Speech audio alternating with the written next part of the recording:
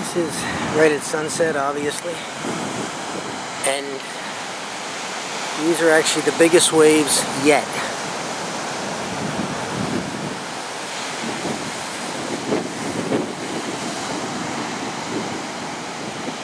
nobody in the water for perspective, but take my word for it.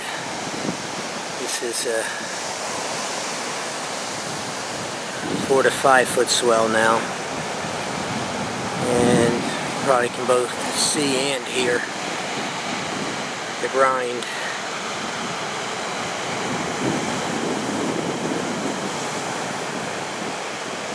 I can't imagine it going below moderate tomorrow.